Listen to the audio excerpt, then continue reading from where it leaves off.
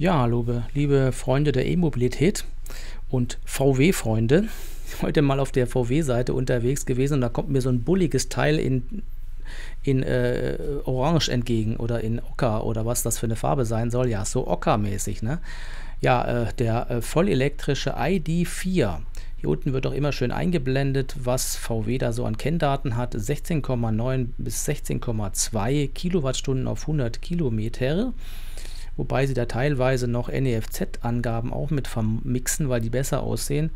Na gut, mehr erfahren. Ich kann nicht nur mehr erfahren, Leute, ich kann ihn schon konfigurieren. Und mein Händler hat tatsächlich auch gesagt, ja, du kannst den tatsächlich jetzt bestellen. Das ist nicht so eine First Edition, wie es beim ID3 war, sondern es geht jetzt tatsächlich los. Man kann hier nochmal hochscrollen. Es gibt nicht so arg viele Varianten davon, deshalb lohnt sich das nicht.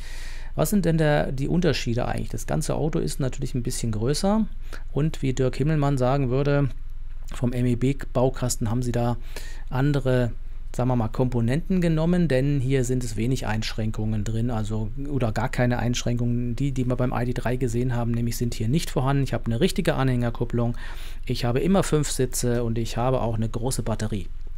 Und ich habe ein großes Display. Also das sieht prinzipiell mal gleich aus. Das wollen sie wohl so in der ID-Reihe erstmal ein bisschen gleich behalten, obwohl es gibt ja noch einen ID 5 oder 6 oder 7.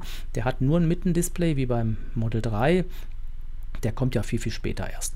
Wir scrollen nochmal hier runter und fangen an zu konfigurieren. Es gibt wieder, wie auch bei dem First Editions, drei Varianten. Aha, die heißen jetzt nämlich, hier ist diese eigentliche First, das ist die Pro und das ist die Max. Ja, das sieht jetzt ein bisschen anders aus, aber vom Preis her ist das schon die günstigste, dann kommt die und dann kommt die. Ich interessiere mich jetzt mal für die Max und hatte erst, oh, shocking, zu teuer, aber ihr müsst ja immer bedenken, da kommen noch die Abzüge drauf. Also man sieht hier immer schön, was es alles so drin hat und ja, es variiert schon, obwohl sie hier natürlich nur so eine Zusammenfassung liefern. Da braucht man wieder eine Bubi-Liste dann nachher, ne? kennt ihr schon vom ID3 her um wirklich mal die Differenzierung hier zu sehen, wo ist was drin. Ich nehme mal für mich jetzt mal die Max-Version, um einfach mal zu gucken, was würde ich denn nehmen. Travel Assist ist auf jeden Fall hier dabei, das ist mal schon das richtige Stichwort. Head-Up-Display ist auch dabei und ihr seht ein Panoramadach. Das sind schon mal für mich die wichtigsten Sachen. Von der Anhängerkupplung steht hier gar nichts. Ich hoffe, dass die dann in irgendeiner Form dazu genommen werden kann. Er hat auch dieses dynamische Fahrwerk. Boah, ja, keine Ahnung, ob ich das brauche. LED-Matrix-Scheinwerfer habe ich auch und die, die 3D-LED-Rückleuchten habe ich auch.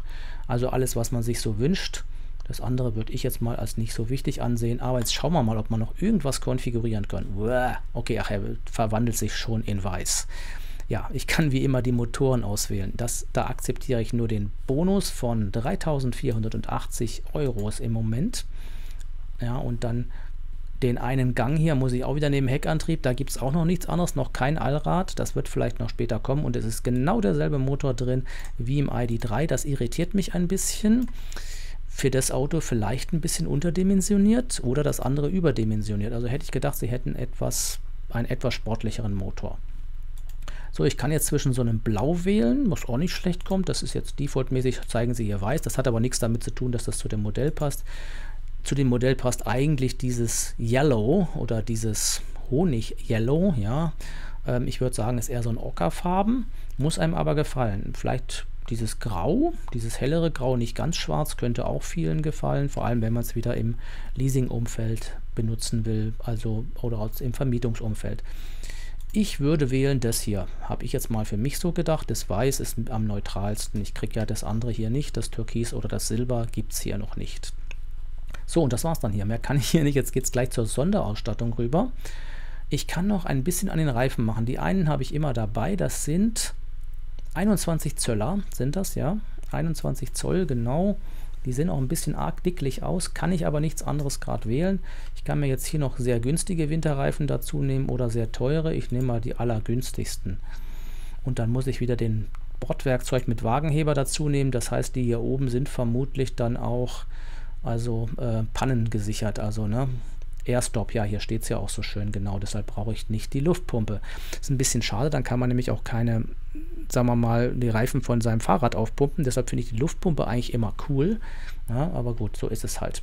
Der Umweltbonus ist drin und dann kann man noch eine Anschlussgarantie sich so dazu nehmen. Die lasse ich jetzt mal weg, weil ich normalerweise das nicht brauche. Und das war's dann. Ja, wo ist denn jetzt meine Anhängerkupplung, Junge? Ist die etwa nicht dabei? Das kann natürlich sein, dass das jetzt bei denen noch nicht dabei ist, obwohl sie es ja beworben haben. Das werden wir uns noch mal kurz gucken. Ich kann auch innen nichts ändern, ist mir gerade aufgefallen, ja. Das muss ich so hinnehmen. Wir gucken uns das Auto aber mal an in, den, in der Galerie. Das ist das Einzige, was wir jetzt mal so können. Na, von außen, es sieht schon ein bisschen bullig aus. Also ich weiß es nicht. Ich werde zwar mal anfragen, ob mich das auch schon im Leasing kriegen könnte. Ich hätte das hier vorne gedacht, das könnte man ein etwas besser vorne stylen, weil auch von der Seite sieht es aus wie jeder SUV. Ja, es ist ja ein SUV-mäßig. Seht es auch hier an den abgesetzten Rathäusern, an denen erkennt ja, man ja immer und ähm, man könnte es auch tiefer legen, ne? da ist durchaus Luft hier, da sieht es vielleicht ein bisschen sportlicher aus. Die zwei Farben, denke ich, da kommt es nochmal ein bisschen sportlicher, aber viel mehr kann man nicht machen. Auch von hinten sieht es relativ bullig aus, es geht noch. Es sieht fast asiatisch aus, habe ich manchmal so ein bisschen das Gefühl. Vielleicht zielt auch VW darauf ab, damit man es im Massenmarkt gut anbieten kann. Da ist die Anhängerkupplung, die muss scheinbar dabei sein. Aha, guck, da seht ihr es ja, die Anhängerkupplung muss standardmäßig dabei sein. Sehr cool. Die kann man auch so cool, glaube ich, zur Seite klappen. Die muss man nicht abmachen komplett, die, kann, die bleibt dort, ist dann so ein bisschen zur Seite weggeklappt. Auch eine ganz coole Geschichte. Gucken wir uns aber das Teil nochmal von innen an.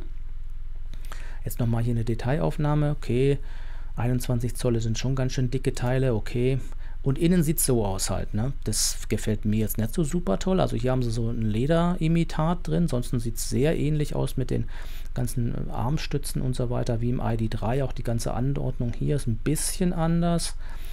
Hm, bisschen teurer sieht es schon aus, aber viel mehr bringt es auch nicht.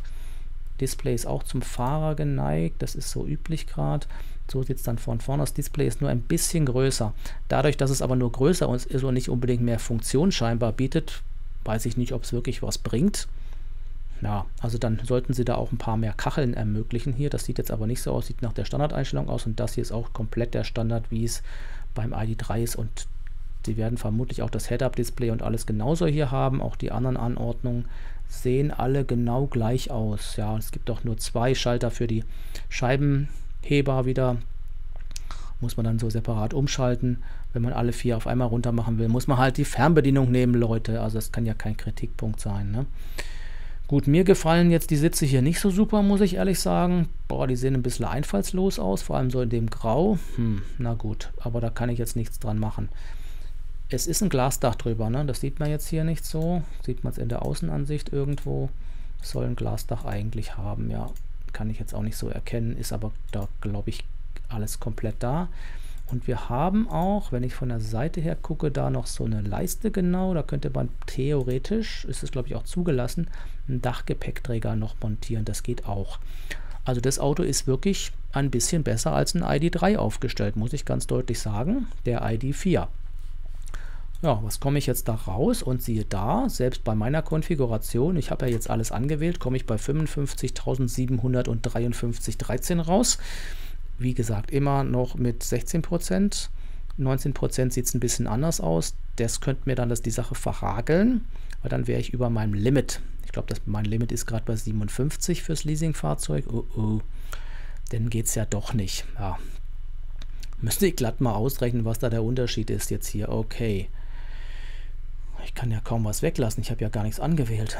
Naja, also gut. Aber mir gefällt er formmäßig nicht so super toll, muss ich ganz ehrlich sagen. Aber okay, wenn ihr meint, ich finde es ein bisschen Kannibalisierung, das Auto jetzt schon rauszugeben, wo eigentlich der ID3 erst verkauft werden soll in großen Massen. Die First Edition ist ja nur so, das ist ja nur für die Freaks gewesen, deshalb darf da ja auch so viel fehlen.